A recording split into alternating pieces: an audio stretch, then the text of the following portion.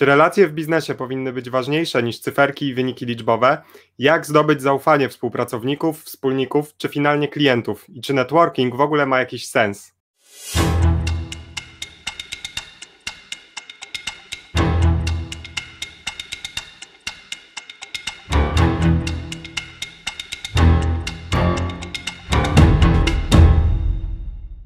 Cześć, witam Cię w świątecznym odcinku Strategicznych Piątków. Dziś porozmawiamy sobie o relacjach w biznesie. Sam wielokrotnie przekonałem się, jak bardzo ważny jest to temat. Przecież każdy z nas prawdopodobnie kiedykolwiek załatwił coś po znajomości i oczywiście nie ma w tym nic złego. I moim zdaniem jest to równie silna dźwignia do rozwoju biznesu, jak na przykład marketing. A moim gościem jest dzisiaj założyciel towarzystw biznesowych, współwłaściciel pracowni Synergii, autor dwóch książek, Moim gościem jest Maciej Gnyszka. Cześć Maciej. Witaj Dawid i witajcie wszyscy radio oraz internetosłuchacze. E, pierwszą rzeczą, o którą chciałem spytać, to czy dwóch książek, e, bo teraz tak jak w międzyczasie między moją nagrywką a, a początkiem naszej rozmowy rozmawialiśmy, to się okazuje, że wcale nie dwóch, e, a trzech. Był, był, był taki czas w moim życiu, gdy byłem autorem dwóch książek, ale ten czas się skończył w 2018 roku, kiedy, kiedy napisałem trzecią. Wprawdzie jest to e-book, więc można powiedzieć, że to taka półksiążka. Ma no, ale... ISBN? Ma ISBN. No to jest. E, okej. Okay. A e, jeszcze e, wydałem tomik wierszy, więc jeśli tomik wierszy uznaje za pół książki i e-booka za pół książki, no to jakby nie patrzeć, są, składają się w trzecią. Mhm. Tak, bo miałem dzisiaj spory problem, jak wszedłem na Twoją stronę internetową w zakładkę o mnie. To było mhm. tam tyle informacji, że żeby wybrać to i zmieścić w te 10 sekund, kiedy Cię przedstawiam, to był problem. E, pytanie też Maciej, bo jako, że... Miłego, wiesz, musiałem tam wybrać różne rzeczy, e, żeby każdy coś ciekawego dla siebie znalazł, bo niektórzy mnie znają jako artystę, inni jako przedsiębiorcę, trzeci jako internetowego śmieszka, więc każdy powinien, e, wiesz, mieć... Coś dla siebie. Tak, tak. No i właśnie przez te trzy, trzy jakby segmenty, o których mówisz, Y, ma sens nasza dzisiejsza rozmowa, bo przez to masz mnóstwo ciekawych znajomości. Y, mhm. Ciekawa jest też Twoja czapka, bo dzisiaj odcinek świąteczny, będziemy to publikować w Boże Narodzenie 25. Sweterek jest elegancko, jak przy stole wigilijnym. Pytanie jest czapką. Brakuje, brakuje reniferów. Reniferków. E, tak, tak ale my nie ściemniamy, jak w telewizji, że jesteśmy na żywo tak, nie ściemniamy. Jest, drodzy Państwo, dzisiaj jest listopad, powoli przychodzą chłody, na dworze jest 5 stopni przynajmniej u mnie. Tak Być może w Boże Narodzenie jest 20 stopni i świeci słońce, ale teraz w listopadzie u nas jest tak. Mm, co do mojej czapki, to e, dementuję pogłoski, że jestem łysy. Nie, nie jestem. Mam włosy, natomiast e, czapkę noszę, ponieważ jestem samozwańczym w zasadzie, ambasadorem magazynu Kreda. To taki magazyn e, o edukacji, mm, e, o edukacji, o rodzinie, o dzieciach. Bardzo fajna, bardzo fajna rzecz. E, mm, to jest jedna z tych rzeczy, gdy poznałem dzieło, to zapragnąłem poznać twórców. Miałem tak na przykład z Jackiem Gmochem, z którym wywiad rzekę skończyłem czytać w niedzielę i już w niedzielę 20 minut po przeczytaniu i wrzuceniu na Face'a prośby o namiar na gmocha, bo chciałbym się napić z nim kawy. Miałem do niego komórkę, w poniedziałek zadzwoniłem i w środę piliśmy kawę w Sheratonie i tak samo było z Kredą. E, rzecz jest na tyle dobra, że zapragnąłem poznać twórców. Dzisiaj Kreda jest w towarzystwie biznesowym krakowskim. E, z Jankiem Pletim już niejedną kawę wypiliśmy. E, no i nie jeden handelek zrobiliśmy, bo właśnie ta czapeczka zdobyła moje, moje serce i kupiłem sobie mm, u nich w sklepie. No właśnie Maciej, to jest fajne przejście do pierwszego mojego pytania. E, takiego, żeby widzowie w ogóle stwierdzili, czy oni chcą tutaj dalej to oglądać, czy jednak nie warto i może to wyłączyć i iść słuchać kolęd. E, pytanie brzmi, czy relacje są ważne? Jeśli są, to dlaczego i po co w ogóle je zdobywać? Bo tu ciekawie zacząłeś, że tam kogoś poznałeś, tu zapragnąłeś, więc zadzwoniłeś. Jakby dla ludzi to nie jest takie oczywiste, że o, spotkać z Jackiem Gmochem, więc spoko, za trzy dni siedzę w nim w Sheratonie. To jest takie, wiesz, ty to mówisz no tak. naturalne, i mhm. dla mnie już też powoli staje się naturalne, kiedy wchodzę w te jakby kręgi networkingowe, że tak powiem, o tym na końcu opowiemy. No ale mhm. właśnie pytanie, po co te relacje? Mhm. No więc wiesz, uważam i zacznę od takiego argumentu yy, takiego psychologicznego. Istnieje takie pojęcie deprywacji w psychologii i socjologii. E, I wydaje mi się, że ludzie pozbawieni kontaktu z innymi, no miejmy też świadomość, drodzy widzowie z grudnia i przyszłości, że w listopadzie 2020 mamy lockdown, pół lockdown, pełny lockdown, no nie za bardzo wiadomo co to jest, ale generalnie mamy o wiele mniej interakcji i pewnie przyznasz mi Dawid rację, że w kółko w internecie można natrafić na e, krokodyle łzy, prawda, ludzi, którzy mówią, oj, kiedy będzie można pójść na kawę ze znajomym, kiedy będzie można te relacje kultywować w normalny sposób, tak jak dawniej. Y, uważam, że gdy nie mamy relacji, interakcji z innymi, e, najzwyczajniej w świecie może nie, może nie głupiejemy, tak? bo jest możliwe być eremitą i całkiem dobrze sobie psychicznie radzić. Natomiast no, zdecydowanie nie jest to umiejętność, którą posiadał każdy. Wchodzenie w interakcji generalnie jest dla nas po pozytywne. Inspiruje, e, podrzuca nowe pomysły, daje wiedzę. Dzięki interakcjom prze, przepływa też wiedza między ludźmi. Nie mówiąc o takich zwyczajnych, y, o takich zwyczajnych informacjach. No. E, instytucja plotek E, to jest po prostu mechanizm dyfuzji informacji. Nie? Gdyby ludzie nie plotkowali, to na przykład pogłoski o tym, że, mm, że będzie wojna, albo pogłoski o tym, że rząd planuje zamknąć Warszawę, o czym regularnie słyszę od marca. E, po, po prostu ta wiedza i poważna wiedza by nie rozchodziła się. A więc uważam, że relacje są ważne przede wszystkim z psychologicznego punktu widzenia dla zachowania równowagi. Ale po drugie, relacje są ważne na każdym rynku, nawet na rynkach, e, gdzie jesteś monopolistą. Bo e, zazwyczaj na pytanie, a po co są relacje w biznesie e, istotne, odpowiadam, no zazwyczaj odpowiadałem tak na każdym rynku, na którym nie jesteś monopolistą, musisz utrzymywać dobre relacje, przynajmniej ze swoimi dostawcami i klientami. Nie? A w, w, związku z tym, że chcesz mieć jak najwięcej, naj, najczęściej chcesz mieć jak najwięcej, jak najlepszych klientów, a co za, za tym idzie, będziesz potrzebował jak najwięcej, jak najlepszych dostawców, no to y, tu jest pole do nieograniczonego wzrostu. Natomiast od niedawna uświadomiłem sobie, że e, relacje są ważne także na rynkach, gdzie jesteś e, monopolistą.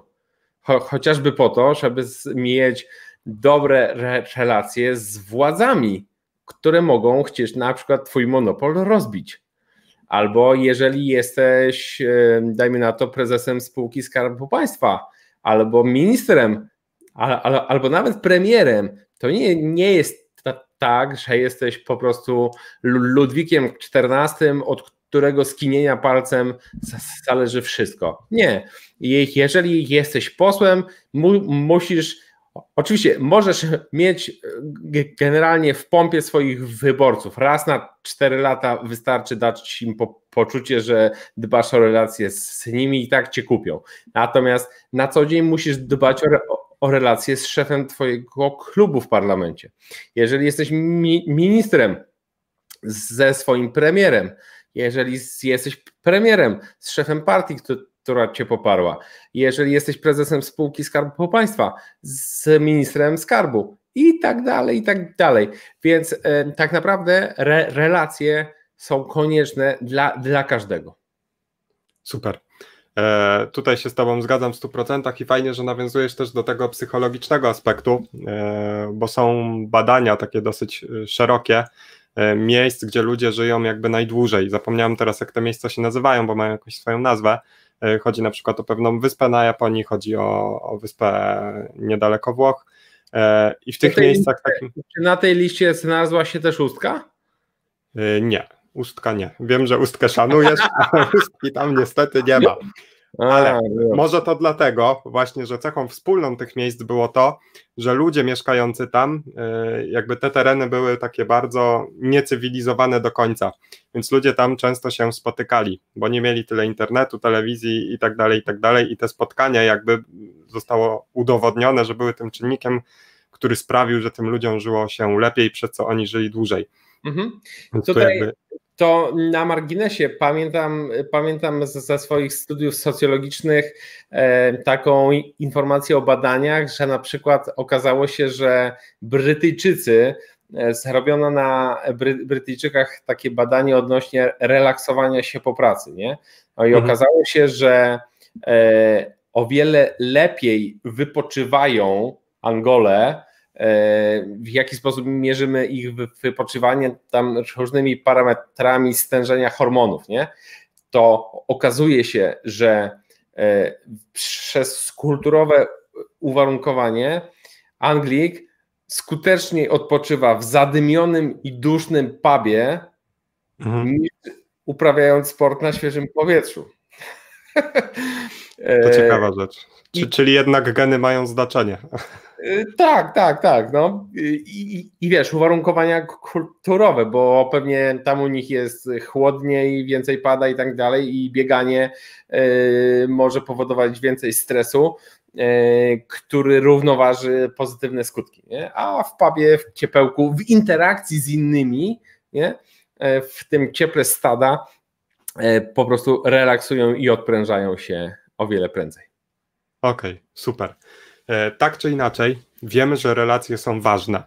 To teraz pytanie. E, relacja zazwyczaj zaczyna się od tak zwanego pierwszego dobrego wrażenia albo złego. E, pytanie, czy są jakieś metody? Czy ty, jako człowiek, który relacji nawiązał setki tysięcy, czy są jakieś metody, żeby przez te pierwsze 10-30 sekund tego pierwszego wrażenia zrobić mhm. coś, żeby było spoko, żeby ten ktoś mnie polubił?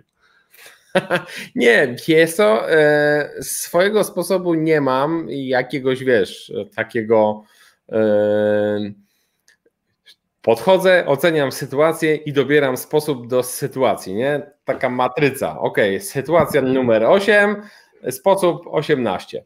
Nie. E, Czyli siła tak, doświadczenia. Tak, y, i bardziej powiedziałbym, wiesz, że y, autentyzm i, i spontan. Wydaje mi się, że taką wiodącą regułą powinno być to, y, że e, że e, chyba jest tak, że ludzie wyczuwają e, wyreżyserowane sytuacje. Nie? No i, i jeżeli tak jest, to silenie się na jakieś, wiesz, sposoby, triki, wiesz, piramidka w górę, piramidka w dół, zanim do ludzi dotrze ten komunikat, który rzekomo chcesz przekazać, to dotrze do nich inny ko komunikat, ale ten gość jest spięty i, i chyba udaje, nie? Mhm. A, jeżeli, a jeżeli jest spięty i udaje, no, no, to chce mnie oszukać, a jeżeli chce mnie oszukać, to niech spada na szczaw, nie?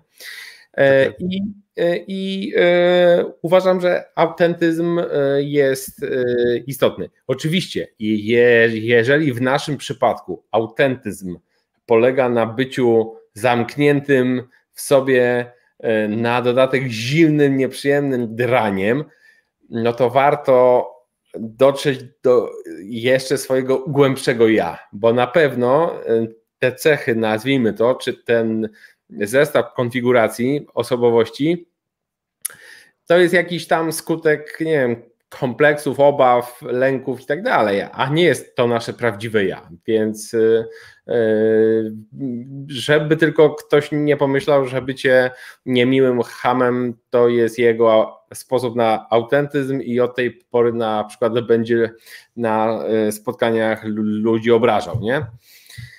Chociaż znam takiego człowieka, pisałem o nim w książce e, o networkingu, e, który uważa, że są trzy sposoby, y, że są dwa sposoby na e, zrobienie trwałego wrażenia.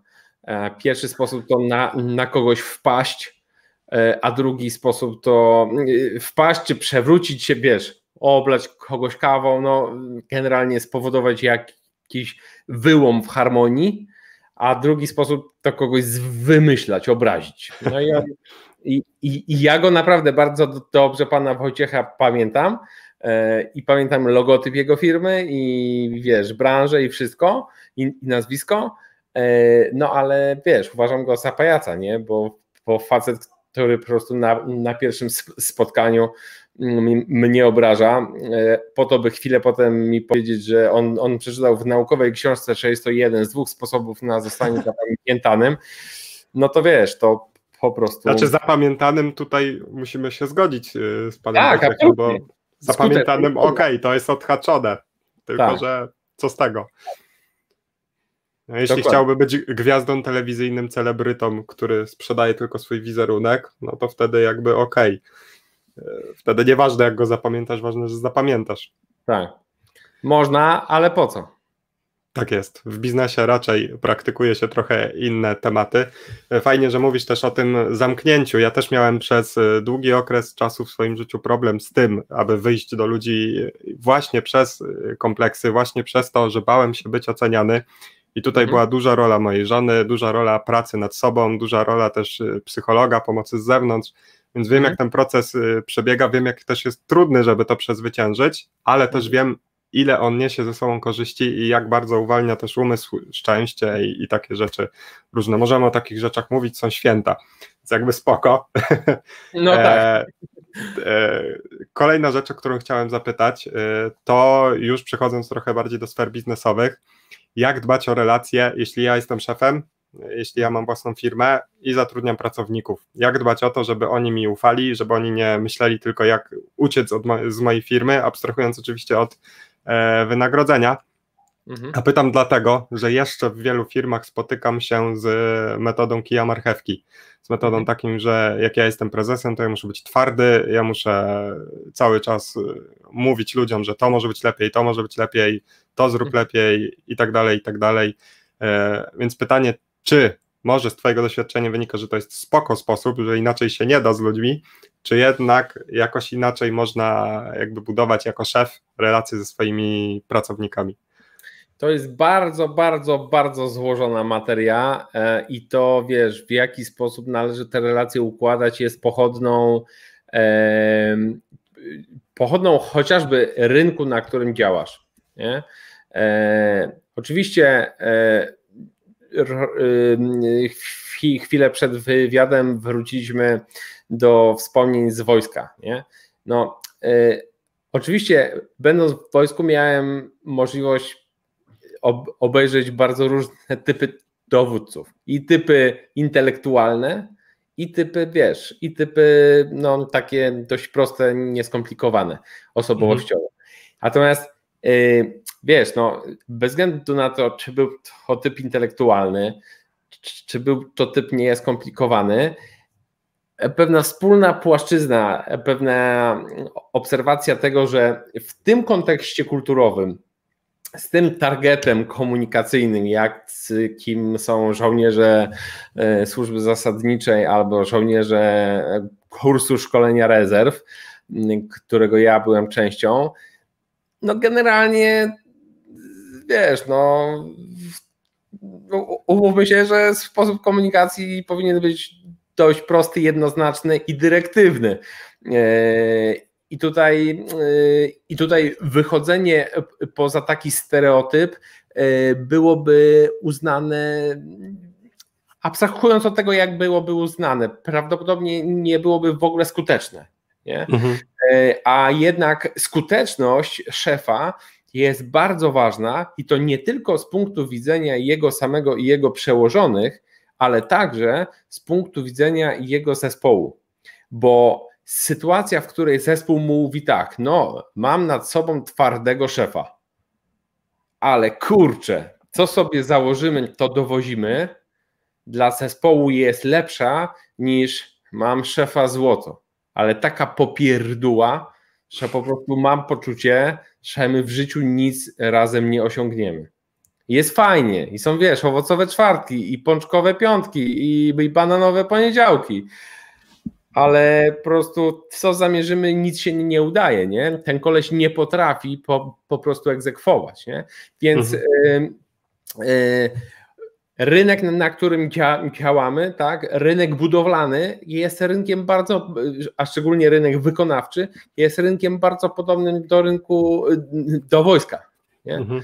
E, wielu chłopaków, wiesz, po, po, po, po inżynierii lądowej, którzy w białych koszulach przy, przychodzili po raz pierwszy na budowy, po pięciu latach ma bardzo bogaty wokabularz, wiesz, y, analogii, analogii seksualno, seksualno-wojennych i ma świadomość, że najzwyczajniej w świecie inaczej w tej pracy by przepadli, nie? Z drugiej strony to też jest pochodna osobowości szefa, i osobowości ludzi, z, z którymi pracuję. No, to wszystko się składa na tak zwaną kulturę e, organizacyjną. Więc moim zdaniem, e, moim zdaniem to jest bardzo głęboki problem. Ja sam w swojej praktyce spotykałem się z sytuacjami, i to paradoks polega na tym, że o, o wiele częściej spotykałem się z sytuacjami, w których szef swoje niedostatki w leadershipie próbował rekompensować byciem miłym misiem. Mhm. No bo wiesz, bo poczytał o Turkusie, bo poczytał e, o tym, o tamtym e, i stwierdził, że jak w pracy będzie miło, to nagle ludziom się coś będzie chciało, nie? Mm, no ale wiesz, e, ale to tak nie, nie działa. Więc ja raczej się częściej spotykam nie z sytuacją, którą ty zarysowałeś, czyli wiesz, takie twardogłowie i jakiś taki prymitywny leadership, e, tylko raczej taka pomieszana sytuacja, gdzie szef raczej ma skłonność e, osładzania wszystkim naokoło swoich wad, zamykanie oczu i wiarę w to, że tym razem się uda. Nie? A tymczasem, no niestety, ludzie potrzebują silnego przywództwa, a silne przy, przywództwo niekoniecznie oznacza szefa troglodytę. Nie? To trochę tak jak z, z ojcostwem. Yy, yy, paradoks polega na tym, że dzieci, które mają jasno zarysowane granice, Oczywiście to, że mają jasno zarysowane granice, nie oznacza, że gdy, gdy, je przekroczą, to po prostu są, wiesz, lane do nieprzytomności kablem od Prodiża e, i to jeszcze tą końcówką z Prodiżem. E, tylko, tylko, że wiedzą, nie? Tu jest ta granica, ok, ja ją mogę przekroczyć, no będą tam może jakieś tego skutki, a, a może nie zawsze będą, różnie, ale przynajmniej mam, mam świadomość, ten mój świat jest trochę taki e, dodefiniowany, nie? I dzieci, które mają dodefiniowany świat, są spokojniejsze, łatwiej im, im się żyje, ten świat jest bardziej prze, przewidywalny. Mm, takie małe rzeczy, jak to, że, że wiesz, obiad jest codziennie o tej samej porze, tak? a podwieczorek jemy po obiedzie, a nie przed obiadem.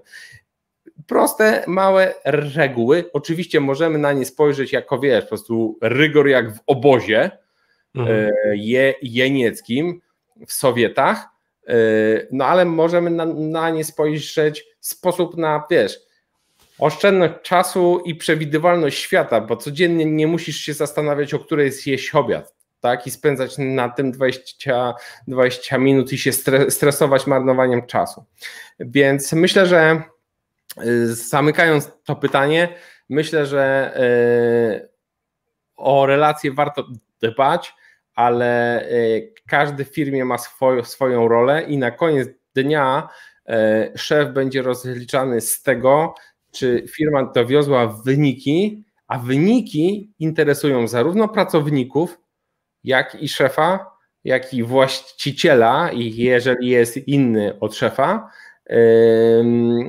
No i, i niestety taki wiesz, słaby leadership, który ma na celu tylko i wyłącznie budowanie relacji, wyników nie dowozi i w wyniku tego sypią się relacje. O, to jest istotna konstatacja. To nawet, to nawet możemy to, to, to, to nawet możemy mm, przywołać Winstona Churchilla, który powiedział po konferencji monachijskiej, że mieli do wyboru hańbę albo wojnę, wybrali hańbę, a wojnę będą mieli i tak. No i po roku, i, i po roku zaczęła się wojna, nie? Jeżeli uważamy za główny cel istnienia firmy budowanie dobrych relacji w firmie, to przez chwilę one będą dobre, potem przyjdą złe wyniki, przez co popsują się relacje. Okej, okay, czyli jednak cyferki też są bardzo ważne y, w tych relacjach i to też jedno na drugie tak. wpływa. Są teraz... ważne, jeżeli o nich zapominamy, to mylimy, mylimy cel z narzędziem. Okej, okay. To teraz zapytam o relacje na zewnątrz firmy, czyli relacje do klientów. Co z nimi ja mogę zrobić, żeby klienci do mnie wracali, bo będą super zadowoleni nie tylko jakby z jakości tego, co ja robię, z jakości mhm. produktów czy tam usług, E, ale z tego, że ja jakoś buduję z nimi relacje. I, mhm. i o ile w B2B to jeszcze jakoś tam wiemy, że, że nie wiem, jak ja mam klientów, to czasem się z nimi po prostu na piwo spotykam e, mhm. i już. E, ale pytanie, co z B2C? Co ja mogę tam zrobić? Jeśli ja jestem sklepem internetowym na przykład, mam mhm. 2000 klientów, co ja mogę kurczę zrobić, żeby z nimi zbudować relacje? Mhm. Więc wiesz, myślę, że myślę, że e, bez względu na to, czy to B2B, czy B2C, e, są na pewno reguły uniwersalne e, i, i, tak, i, i do takich zaliczyłbym na przykład że, rzetelność. Co to mhm. oznacza? To oznacza, że jeżeli obiecałeś X w czasie Y, no to nieco więcej niż X w czasie nieco krótszym niż Y się wydarzy. Nie? A jeżeli się nie wydarzy, bo ma prawo się nie wydarzyć niekiedy, e, to wchodzi druga zasada szczerość. A więc szybki komunikat, drogi kliencie, bez względu na to, czy to B2B, czy B2C, no jednak nie tym razem, tak? Właśnie wpadłeś do tej przegródki pod tytułem 2% fuck-upów rocznie i w związku z tym, po pierwsze, Cię informujemy, po drugie, no, zamierzamy Ci tę gorycz osłodzić w taki taki sposób. Nie? A, a więc rzetelność i szczerość.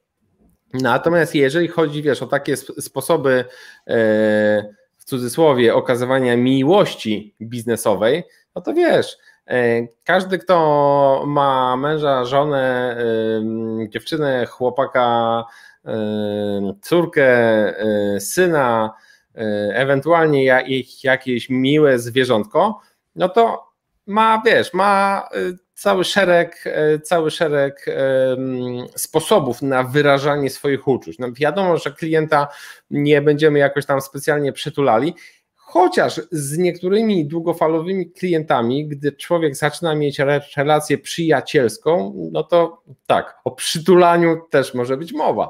Natomiast e, zapewne chodziło Ci o, o różne takie e, bardziej standardowe i bardziej oficjalne e, sytuacje, no to mm, dla mnie świetnym, świetnym narzędziem właśnie w e-commerce jest dawanie takiego human touch do, do przesyłki, tak? czyli na przykład króciutki, e, ręcznie pisany liścik, tak? E, chociażby spakowała dla ciebie Iwona, nie?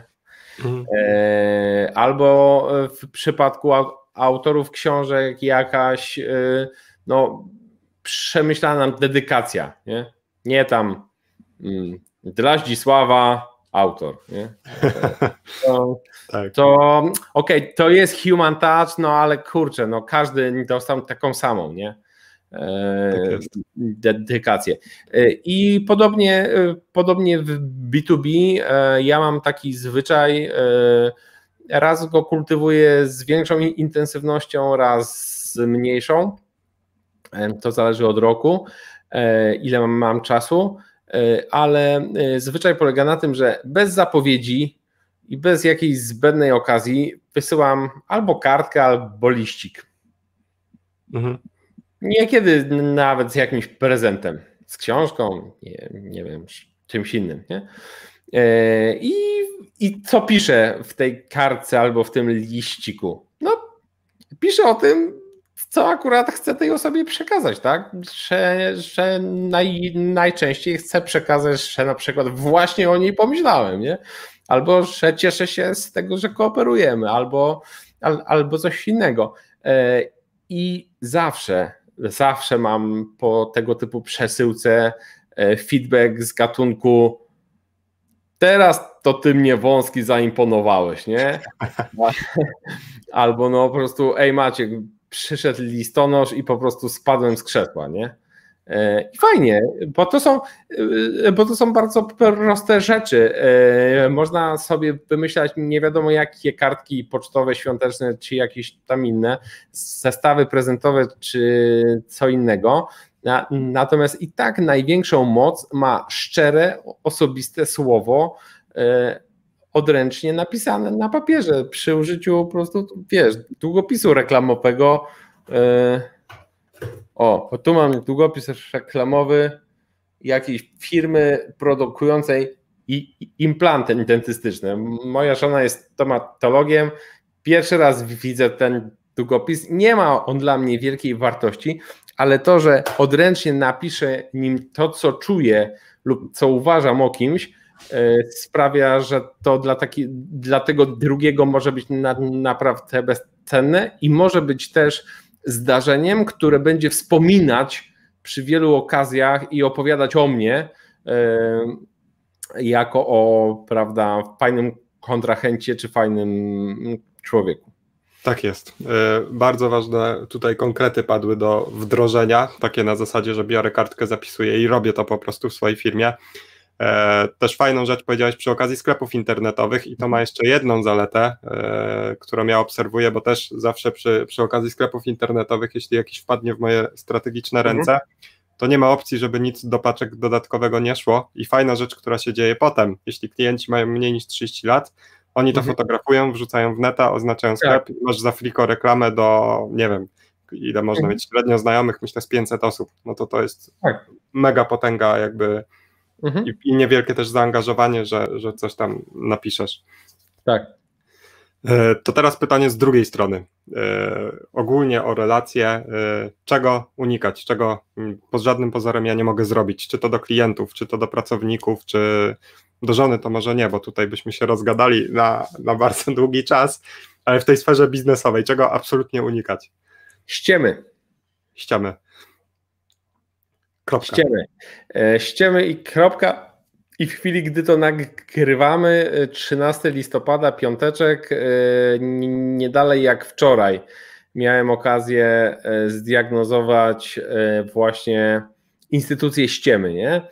Zadzwonił do mnie, zadzwonił do mnie człowiek, który korzysta z usług naszego wspólnego znajomego. No i nie do końca był zadowolony i mówi, słuchaj, może tam do Iksińskiego zadzwonisz, to tam wybadasz, y, o co to chodzi, bo jakoś tam, jak jakby y, nie do końca chciał mnie obsługiwać, a kurczę, a ja tu jestem niezadowolony i coś. Myślę, no mhm. ta sytuacja, przedzwonię do tej drugiej strony. No i druga strona mówi, Maciek, ja nigdy takiego po prostu człowieka nie obsługiwałem. To w ogóle jest koszmar. Ja on do mnie dzwoni w niedzielę o 20. E, jak ja go proszę o rzeczy, których potrzebuję do wykonania usługi z jego strony, to on mi, mi w ogóle przysyła zupełnie inne. To jest gość, który mnie nie słucha. I wiesz, po prostu litania po prostu e, mhm. rzeczy, nie? I ja mówię, no dobra, ale to może go po prostu spuść na szaf. Jeżeli praca dla niego jest dla ciebie udręką, to po prostu sprzedaj mu kopa, i się pożegnajcie. Tak jest. To, to jest... No muszę, no muszę. Ja mówię, to może ja to robię za ciebie. No bo skoro mnie nie poprosił o pośrednictwo w kontakcie z tobą, to ja zaraz za trzy minuty zadzwoni i powiem, że nie chcesz z nim współpracować, go spuszczasz na szczap i do widzenia, nie? No i on no, mówi, no bardzo bym cię prosił, nie? I wieczorem, to było w ciągu dnia, i wieczorem i wieczorem e, jeszcze tam pisaliśmy SMS-y i, i mówi, tak Maciek, wiesz, bo ja to nie mam takiej umiejętności powiedzieć, wiesz, otwarcie, Ja mówię, no okej, okay, ale wiesz, masz prawie 50 lat, najwyższa pora się nauczyć, tak? Bo, bo zobacz, on o tobie myśli źle, nie? On uważa, że twoje usługi są swojej jakości. A tak naprawdę, gdybyś ty mu dał feedback zaraz na początku waszej współpracy, on być może miałby szansę przestać być udręką swoich dostawców, bo tam się potem okazało, że czegoś jest po prostu udręką dla swojej księgowej, no, dla wszystkich naokoło, nie? Mhm. I wiesz, i przy, przez ściemę ja rozumiem po prostu brak szczerości, bo ściemą grubego kalibru jest, wiesz, jakieś tam fraudy, oszukiwanie ludzi, mówienie jednego z rozmysłem, y, a robienie drugiego ale ściemą jest też brak szczerości. Nie? Mhm. I y, dokładnie niedawno miałem taką sytuację, gdzie ktoś mówił, a tam y, coś tam mi się nie podoba w towarzystwach i, i jak myślisz, czy mnie to zachęca do wstąpienia? A ja mówię, nie wiem, czy cię to zachęca i tak naprawdę mnie to nie interesuje, bo ja cię nie chcę w towarzystwach. Więc nawet jeżeli się zgłosisz, to ja cię nie przyjmę. Więc nie ma znaczenia, czy cię to zachęca, bo nie jesteś na liście do przyjęcia i nie będziesz. Więc y, brak szczerości powoduje to, że, że, że tkwimy w kłamstwie, tkwimy wiesz, po prostu w wirtualnej rzeczywistości, y, a to nigdy nie kończy się dobrze. Więc jest to także niedobre dla relacji, bo często utrzymujemy ludzi mm, w mylnym mniemaniu o ich samych, o ich firmach, o, o naszej firmie, o nas samych. E, to mogę jeszcze spuentować cytatem z Astrid Lindgren. Skoro mówiliśmy przy okazji czapki o edukacji i dzieciach, to polecam wszystkim, którzy nas oglądają. O, święta są, dużo czasu z dziećmi można spędzać. E, świetna książka Astrid Lindgren pod tytułem Carlson z dachu. I Carlson z dachu to taki śmieszny jegomość z motorkiem na plecach, który lata po osiedlu i ma dość niewyparzony język i pewnego dnia do jego kolegi głównego bohatera e, przyjechał wujek, taki bardzo bogaty, ale bardzo skąpy i niemiły pan. No i jadł obiad i narzekał, że mu obiad nie smakuje i wtedy Carson z miną aniołka go spytał wuju Juliusie, czy ktoś ci kiedyś powiedział, że jesteś niezwykle mądrym i pięknym y, mężczyzną w, i w miarę tęgim mężczyzną w najlepszych latach? Wuj Julius, wiesz, się po prostu ucieszył, mówi, no nie, nikt mi jeszcze nie powiedział. A na to Carlson, to skąd pomysł, żeby tak o sobie myśleć? I no właśnie, no, brak szczerości kończy się tak, że po prostu e, kończymy w społeczeństwie zadufanych w sobie baranów, e, którzy wszystkich uważają za winnych zła w swoim życiu, a nie widzą e, tego, co sami źle robią. Okej, okay. bardzo ładnie to spuentowałeś. Ja się pod tym, pod tym podpisuję obiema rękami. To teraz, przedostatnie pytanie. E, nie wiem, czy masz jakieś doświadczenia tutaj. E, jeśli nie masz, to to po prostu wytniemy. E, mhm. Chciałem Cię zapytać o to, co teraz przy lockdownie stało się dosyć dla wielu pewnie palącym problemem, a mianowicie jak połączyć relacje te, które mamy jakieś tam w biznesie, naszą pracę ogólnie zawodową z relacjami w rodzinie. E, I to jest pytanie zarówno o sytuację, kiedy na przykład ja pracuję ze swoją żoną, ona albo dla mnie pracuje, albo jesteśmy oboje wspólnikami, albo z przyjacielem jestem wspólnikiem, e, czy jakieś takie mhm. rzeczy. Jak to połączyć w sytuacji, kiedy my robimy biznes i na ile ta sfera prywatna powinna wkraczać do sfery biznesowej? Czy ty masz jakieś doświadczenie? Czy to w ogóle jest dobry pomysł, żeby to mhm. łączyć? O, y Odpowiem przypowieścią. E, natomiast e, oczywiście e, doświadczenia mam, chociaż ograniczone w takim sensie, że ani nie pracuję z żoną, mhm. chociaż zaraz to zniuansuję to zdanie, ani nie pracuję, nie wiem, z rodzicami, natomiast dużo pracuję z przyjaciółmi. Nie? Mhm. Jestem wspólnikiem albo re reprezentuje spółkę, która jest wspólnikiem wielu spółek, które założyłem z przyjaciółmi. Nie? I więc to, to wyzwanie, o którym mówisz, jest mi bliskie. Natomiast po pierwsze chciałem zauważyć, że to wcale nie jest nowe wyzwanie. To znaczy, jeżeli przenieślibyśmy się 100-150 lat wstecz, to znaleźlibyśmy się gdzieś tam na jakiejś kaszubskiej wiosce, gdzie e, były w zagrodzie, tak? Mówimy o zagrodzie. Kto wchodził w skład zagrody? W skład zagrody wchodziły zwierzaki, w skład zagrody wchodziły zwierzaki do pilnowania zwierzaków, najczęściej psy. W skład zagrody wchodziły dzieci, rodzice, dziadkowie i pradziadkowie. I to mhm. było przedsiębiorstwo. Przedsiębiorstwo polegające na tym, żeby obsiać pole, zebrać plony, jakoś to może spieniężyć, może skonsumować. E, zwierzaki zamienić na produkty rolne, niewegańskie, mleko, mięso, jajka i różne tego typu rzeczy, pierzyny no i jakoś tym obracać w taki sposób, żeby z roku na rok zostawało trochę więcej kasy niż wydajemy, po to, żeby starczyło na buty raz na 5 lat i, i coś takiego. I wszyscy jakoś musieli się do jasnej cholery dogadać. Nie? Co więcej, musieli jakoś zadbać o work-life balance, który był, który był w ogóle dość ciężki, bo work to było life, a life to było work. Nie? I mhm. uważam, że e, i uważam, że od tego czasu nie zmieniło się nic.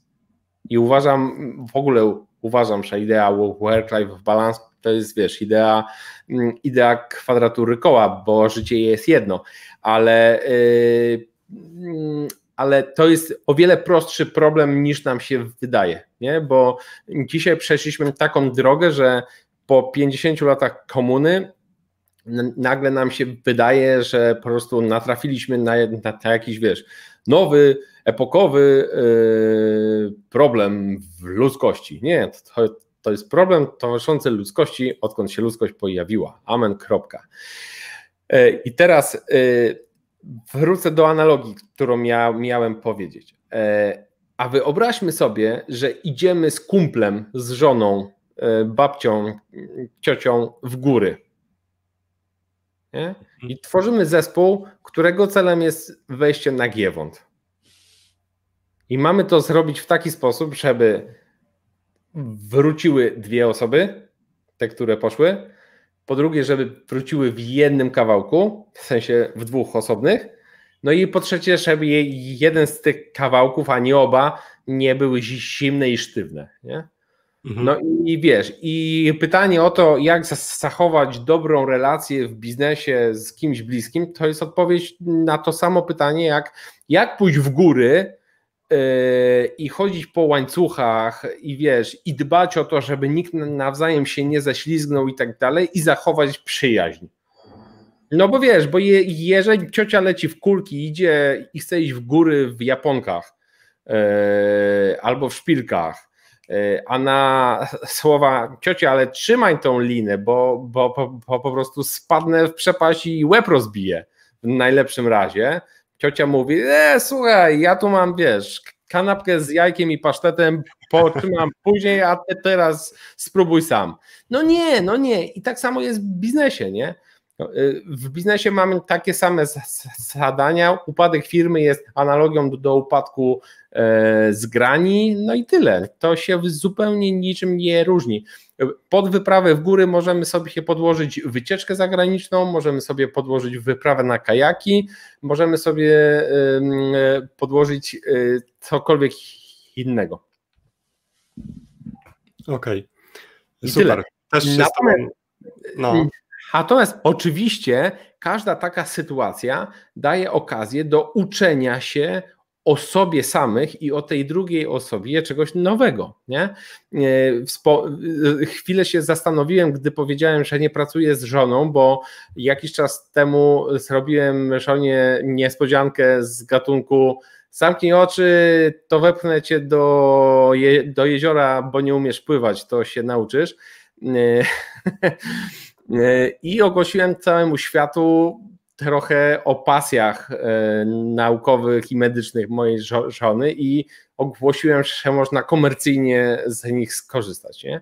No i w toku, w toku, w toku te, tego pro, projektu, który hasłowo nazwałem Ziołowa Olenka, no musieliśmy odpowiedzieć sobie na pytania, ok, w jaki sposób przebiega proces obsługi, jak on ma być ustandaryzowany, jak on ma być wyceniony, a dlaczego tak, a nie inaczej. I, i co więcej, zrobiliśmy to w, w, bojowych warunkach, ponieważ wiedziałem, że gdybyśmy to mieli, wiesz, ustalać na sucho, na kartce z dużym wyprzedzeniem, to byśmy ustalali przez 67 lat i po drodze byśmy umarli po prostu, to wiesz, ze starości, e, bo byśmy wszystko picowali. Więc dodatkowy czynnik stresowy. I oczywiście ozna oznacza to, że w, w trakcie set dwa razy y, ja powiedziałem Oleńce, słuchaj, gdybyś u mnie pracowała, u mnie w firmie, już dawno bym cię po prostu wywalił na... A Olenka też miała okazję powiedzieć, Bogu dzięki, że ja z tobą nie, nie pracuję i współczuję ludziom, którzy, którzy z tobą pracują, nie? Ale wiesz, y, to jest, ale minęło parę miesięcy, tak naprawdę e, ona mnie czegoś nauczyła o mnie, a ja ją o niej i sami e, o sobie też się więcej dowiedzieliśmy. A więc to może być ubogacające, co nie znaczy, że wiesz, to będzie miłe, przyjemne i oczywiste. Jasne. tutaj też mam doświadczenia z, z pracą z żoną jako że żona zawsze siedzi praktycznie dwa metry w tamtą stronę. Yy, Czyli na moim miejscu. Cztery. Yy, okay. Na twoim miejscu. No za tobą no. jeszcze, tam kolejne okienko obok. e, jakby często mamy styczność w sytuacjach takich, że coś się dzieje u niej w firmie, więc ja tam muszę coś jej pomóc, coś dzieje się u mnie, więc ona mhm. pomaga mi. Więc na tej mhm. sferze zawodowej też się ścieramy, ale to jest bardzo duża lekcja pod kątem też sfery prywatnej, bo jakby też to, co mówisz, że work-life balance to jest mhm. jakby troszkę idea z dupy, e, mhm. to jakby z tym, z tym, się, z tym się zgadzam, mhm. E, ale jakby ja uważam, że, że jeśli w sferze prywatnej się dogadujemy, to w sferze zawodowej też możemy dać radę, bo znam wiele par, które prowadzą jedną firmę na przykład i, i tak żyją, są szczęśliwe, dogadują się i jest spoko. Tak, oczywiście. Oczywiście, wiesz, a to, że idea work-life balance jest ideą, e, jak uprzejmie raczyłeś powiedzieć, z dolnych stanów e, pleców, e, gdzie plecy tracą swoją szlachetną nazwę, to bynajmniej nie oznacza, że nie należy zachować w życiu równowagi. Nie? Jeżeli po prostu nie mamy czasu na sport, nie mamy czasu nie wiem, na modlitwę, medytację, lektury i tak dalej, to nazwijmy to jak chcemy, tak? To jest po prostu porąbane życie i oczywiście e, mogą być okresy w życiu, gdzie musi być jakiś większy wysiłek e, w jakimś kierunku, no ale długofalowo to po prostu się powinno przeplatać, no bo nie zachowamy równowagi. Tak jest. Ciężko jest wyjść z pracy i po prostu o, o ja teraz od 16 nie pomyślę ani razu o pracy i, i tak będzie. To jest jakby E, trochę ciężka rzecz, jak ktoś tak umie, to jakby fajnie, fajnie albo nie fajnie. E, albo prawdopodobnie jeszcze... jest psychopatą. Mhm. E, tak jest. Mam jeszcze na koniec do Ciebie pytanie od widza, pod które mhm. podepnę jeszcze trochę pytanie od siebie. Pytanie brzmi tak, że poczekaj, przeczytam, żeby było dokładnie cytując. Często biorę udział w spotkaniach networkingowych, jednak uważam, że nie mam tam nic istotnego do przekazania innym osobom. E, w jaki sposób mogę zawalczyć ze swoim nastawieniem. E, tak brzmi końcówka pytania. Ja dopytam, czy w ogóle networking e, jakby działa w takiej sytuacji, kiedy ktoś tam nic nie wnosi. Bo kiedy wnosi, to jakby pewnie zgodzą się te osoby, które uczestniczą i coś wnoszą w tych spotkaniach, czyli też dają i potem w konsekwencji na, pewnie, na pewno też dostają, ale jest masa osób, która idzie na networking, siedzi, siedzi, siedzi, milczy, milczy, milczy, wychodzi i stwierdzi, to jest do kitu, to nie działa bez sensu. Yy, Okej, okay. żeby odpowiedzieć na to pytanie, trzeba trochę tą sytuację przeanalizować, bo y, co to znaczy, że ktoś nic nie daje? Nie? Y, to znaczy, że albo jest właśnie tak, jak mówisz, nie? czyli przyszedł, zachował się jak powietrze, nikt go nie zauważył, więc on, on nie daje, bo nawet nie miał szansy dać, tak? bo, bo nie wszedł y, z nikim w, w interakcję. Natomiast e, bywa tak, e, bywa tak, że e, ktoś nie daje, choć próbuje. No i to już jest o wiele lepsza sytuacja, bo jeżeli próbuje i jeżeli wchodzi w dialog z innymi, to w ogóle ma szansę usłyszeć, co on może innym dać. Takim dla mnie klasycznym przykładem tego, że dawcą może być ktoś nieoczywisty, jest przy, przykład mojego kolegi, który był e, w Towarzystwie Biznesowym Warszawskim przez pierwszych dobrych e, parę lat i pierwszy rok, zresztą w 2010, on spędził w towarzystwie jako student czwartego roku prawa. O proszę. Więc wiesz, no halo, no student czwartego roku, E, tu wiesz, prze, przedsiębiorcy, oczywiście no nie jacyś tam Rockefellerzy, ale wiesz, no, goście od niego starsi o paręnaście lat przynajmniej mm, i to w, w takim węzłowym okresie, gdzie wiesz, z chłopaka stajesz się mężczyzną. E, a jednak Krzysiek był bardzo wartościową e, osobą w sieci. Dlaczego? Bo był źródłem sprawdzonych ludzi na staże. Mhm ogarniętych studentów tak. prawa czwartego-piątego roku, którzy mogli być wartościowymi stażystami, a później wartościowymi pracownikami. Więc e, Krzysiek w taki sposób dwa, dwa lata podziałał. Później dzięki towarzystwom znalazł pracę w korpo, gdzie rok spędził zdobywając know-how i później ponownie dzięki towarzystwom od, odpalił spółkę e, w swojej specjalności, z jednym z naszych członków, gdzie jego koledzy tam wycierali korytarze w kancelariach, a on został prezesem mm, i dyrektorem zarządzającym e, kancelarii prawnej zajmującej się prawem nieruchomości. Nie? Więc e, to pokazuje, że nawet osoba, której nie do końca było stać na networking, pamiętam, że musiałem mu zaproponować raty że, żeby no, był w stanie uczestniczyć, ale w związku z tym, że ja widziałem, że on chce, wiesz, on, on, on, on czuje, że on może mieć coś, czego ktoś potrzebuje i chce pomagać, y, no to miałem poczucie, że jemu się powinno udać. Nie? No i jemu się, się udało. Mhm. I e, e, to pokazuje, że e, no jeżeli tylko chcemy się dowiedzieć, czego ludzie od nas mogą e, potrzebować, wtedy mamy szansę się sprawdzić. Podkreślę, że chcemy się dowiedzieć, bo bardzo często bywa tak, że my chcemy ludziom dawać to, czego oni od nas nie chcą. Mhm.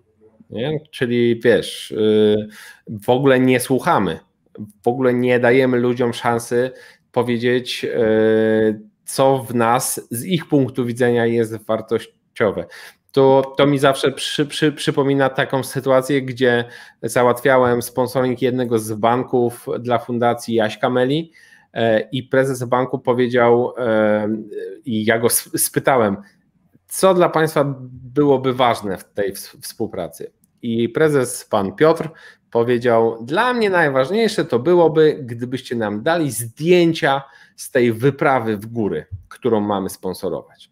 30 mhm zdjęć, bo my je sobie wydrukujemy i w siedzibie powiesimy. Mój młody zespół, który ma duże parcie na Excela i tak dalej, będzie no, miał tą perspektywę, że ich praca służy czemuś. Nie?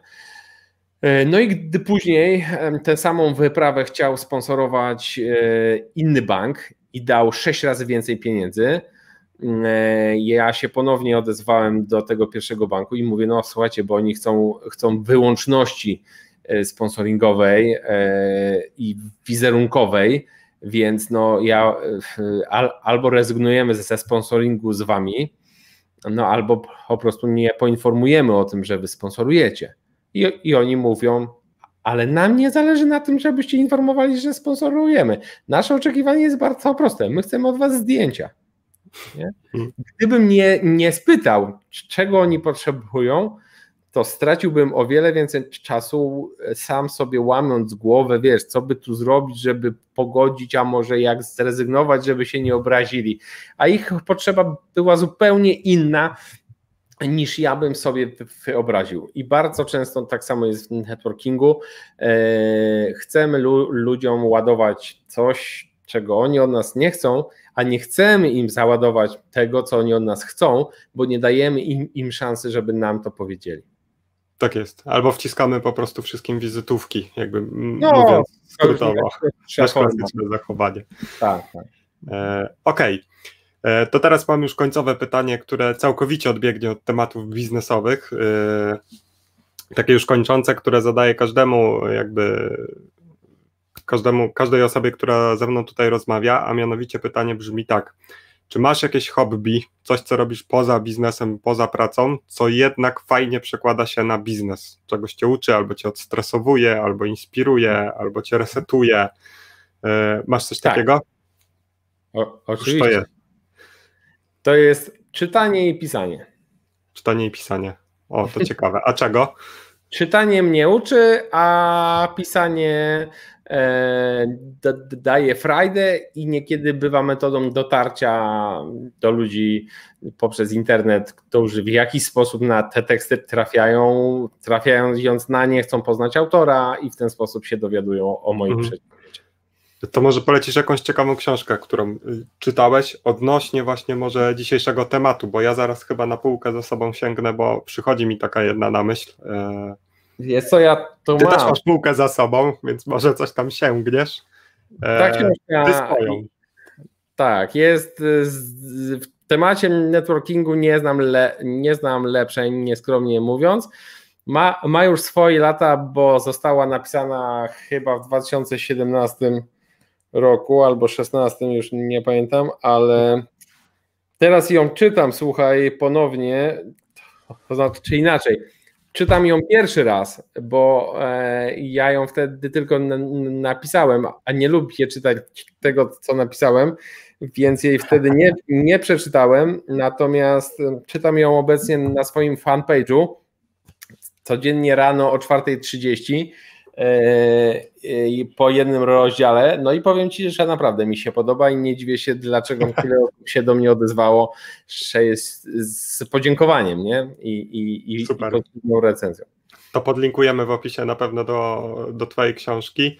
E, mi jeszcze przychodzi na myśl ta książka. E, tak. Na pewno czytałeś e, to jest też dla mnie encyklopedia jakby wiedzy na temat tego, co zrobić, żeby ludzie cię lubili e, i też encyklopedia trochę tak. na temat tego, co robić, żeby być ogólnie szczęśliwym ze sobą też, mhm. E, bo mam tak. wrażenie, że te rzeczy nie są jakby takie, żeby je robić sztucznie, tylko żeby mhm. je naprawdę przemyśleć, co one ze sobą niosą tam jakiegoś fajnego, wartościowego też i dla mnie. Mhm. E, więc ta książka to, to na pewno, plus Twoja na pewno też. Ja widziałem Twoje szkolenie o networkingu, które mnie poniekąd mhm. zachęciło też do tej formy jakby budowania relacji, nie nawet pozyskiwania klientów, ale bardziej budowania mhm. relacji, bo to niesie ze sobą fajniejsze korzyści niż te finansowe. E, więc tu na pewno link wrzucimy. Okej, okay, chciałbyś jeszcze coś dodać na koniec, bo mi pytania się już e, w moim arkuszu skończyły. Tak, e, chcia, chciałbym dodać, że tak e, patrzę na tą swoją czapkę i mi się przy, przypomniało, że, że na hasło towarzystwa dostaniecie 7% rabatu na, na wszystkie rzeczy łącznie z tą czapką. Więc jeśli poszukacie sobie takiej strony sklep.magazynkreda.pl, to tam wszystko będziecie mieć. No a na pewno jeżeli macie dzieci i one niebezpiecznie wchodzą w ten wiek 3, no to jest to pismo zdecydowanie dla Was. Ty, Dawid, masz jeszcze chwilkę czasu, ale, ale, ale myślę, że niedługo też będziesz prenumeratorem. E, tak, no ja mam jeszcze dokładnie, patrząc od daty nagrywania dzisiejszego odcinka, to mam tak z 2,5 miesiąca jeszcze e, a potem też się pochylę pewnie nad tą stroną. E, zresztą tam na półce już są książki nie tylko o marketingu i biznesie, ale i o wychowaniu Super. się pojawiają, więc tak, tu masz, tu masz akurat rację. Okej, okay. bardzo Ci dziękuję za, za tę rozmowę, za konkretne też porady, które należy wdrożyć. Zawsze mówię to na koniec odcinka, żeby nie tylko posłuchać, wyłączyć, zapomnieć, ale zapisać i wdrożyć. To jest ta lepsza ścieżka, która prowadzi do, do czegoś fajnego, do jakiegoś mhm. fajnego wzrostu, w tak. tym przypadku w relacjach. Mhm. Więc jeszcze raz wielkie dzięki za poświęcony czas i za złote rady. Dziękuję bardzo i mam nadzieję, że dla Was to będą nawet platynowe ra rady. Super, dzięki. Cześć. Mam nadzieję, że ta rozmowa zainspiruje Cię do tego, aby budować trwałe relacje i aby być może trochę bardziej sfokusować się na to, aby jednak na te relacje postawić. Wiem, że to jest to proces trudny, co wykazała między innymi ta rozmowa, ale być może warto będzie zacząć od tej książki, od książki Macieja, do której link znajdziesz w opisie. Ważne, żeby postawić ten pierwszy krok i aby sfokusować się troszkę bardziej na relacje. A jeśli chcesz zbudować trwałe relacje z tym cyklem, ze strategicznymi piątkami, zachęcam Cię do subskrypcji, zachęcam Cię do ustawienia dzwoneczka. Będziesz otrzymywał co piątek powiadomienie o tym, że wleciał nowy film na kanale YouTube. E, za tydzień już w nowym roku 2021 e, pierwsza część odnośnie celów, potem wywiad z kolejnym gościem, więc mocno Cię zachęcam. Za dzisiaj Ci dziękuję, trzymam kciuki za to, abyś te rzeczy wdrożył, e, o których tutaj mówiliśmy z Maciejem. Mam nadzieję, że Twoje relacje pójdą mocno do przodu e, w nowym roku. Trzymam za Ciebie kciuki i do zobaczenia przy następnej okazji. Cześć!